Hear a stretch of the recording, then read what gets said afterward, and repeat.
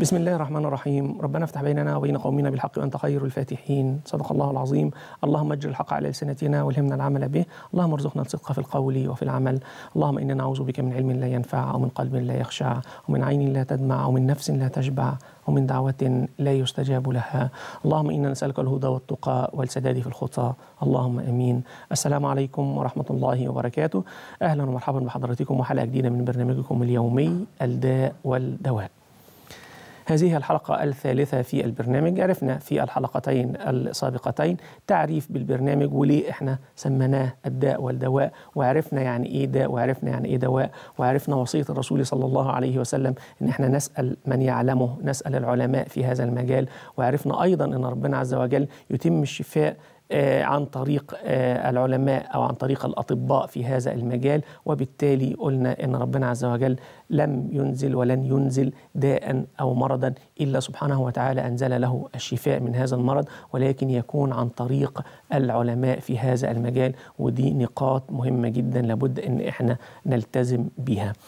آه النهارده هنتكلم ودي تعتبر أول حلقة فاعلية في البرنامج هنتكلم عن مرض السمنة أو زيادة الوزن. أعتقد إن إحنا قتلناه بحثا وحديثا ولكن دائما ما يتجدد مع الأبحاث والدراسات أشياء جديدة تدخل في هذا المجال وبالتالي الكلام تاني لازم يتعاد والكلام تاني لازم يتسمع ونحاول مع بعض إن إحنا نعرف يعني إيه سمنة أو يعني إيه زيادة الوزن. طبعا السمنة أو زيادة الوزن إحنا بنقول إن هي عبارة عن زيادة في الوزن عن ما هو طبيعي بالنسبة للجسم البشري. ده تعريف العادي البسيط قوي بالنسبة للسمنة. وعرفنا إزاي إن إحنا نقدر نعرف هل إحنا في الرشاقة أم في النحافة اللي تحتها أم في بداية زيادة الوزن أم زيادة الوزن أم السمنة المفرطة. هي درجات وخطوات ومراحل ولكن زي ما بقول لحضراتكم محدش بيجي فجأة كده سمنة مفرطة لا ده بيمشي بمراحل آه واحدة واحدة لغاية ما يوصل للأسف لأقصى درجة وهي السمنة المفرطة. آه طبعا النحافة إحنا مش في مجال حديثنا النهاردة ولكن هي النحافة بيبقى الوزن أقل مما هو طبيعي. أما السمنة بنقول آه إن إحنا بنحدد حاجة اسمها ال body mass index أو معدل كتلة الجسم. ال body mass index أو معدل كتلة الجسم هو عبارة عن الوزن بالكيلو جرام مقسوما على الطول بالمتر مربع. بيديني رقم دي المعادلة اللي إحنا بنسميها معدل كتلة الجسم أو ال body mass index بنشوف الوزن كام بنقسمه على الطول في نفسه بالمتر يعني لو الوزن مثلا سي 100 كيلو بنقسمه على الطول لو كان 170 سم يبقى 1.7 من عشرة في 1.7 من عشرة. هيديني رقم. هذا الرقم هيحدد معايا المرحلة اللي أنا فيها من الوزن أو من رشاقة الجسم. هذا الرقم إن كان أقل من 20 دي النحافة دي مرحلة النحافة. هذا الرقم إن كان من 20 إلى 25 هو ده الطبيعي أو هو ده الوزن الطبيعي اللي المفروض يكون الجسم عليه.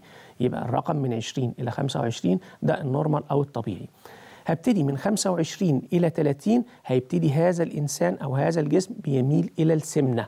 طيب ابتديت بقى من 30 إلى 35 هذا الجسم أو هذا المعدل ابتدى إن هو يبقى بدين أو زائد في الوزن.